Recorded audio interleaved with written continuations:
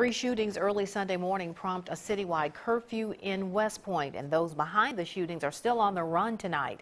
WCBI's Bobby Martinez spent the day in West Point. He joins us in the studio tonight with the goal behind the curfew and what people there can expect. Bobby? That is right, Andrea. Chief Cook tells me these shootings are all related, and he says he is hoping that this curfew will be a stepping stone in helping them arrest the ones responsible for these shootings. The old saying, actions speak louder than words, has come to fruition in West Point. In our effort to uh, get this under control, I asked the board would they work with me for a curfew for 30 days.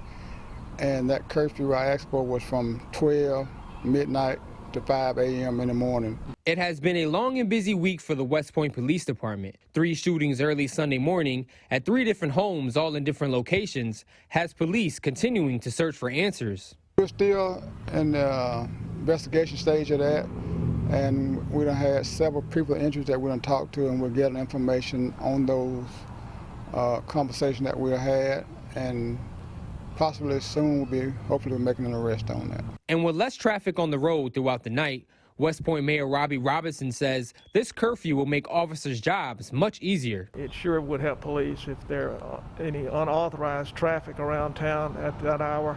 They, they can make stops. Uh, they're not going to harass our local people who are working. There, I know there are people who have jobs that uh, they have to go to work after midnight, or they may be coming home after midnight. But uh, they'll be safe. They'll be fine. And that is right. This curfew will be in effect for the next 30 days. And if you have more information on the shooting, contact West Point Police and Golden Triangle Crime Stoppers.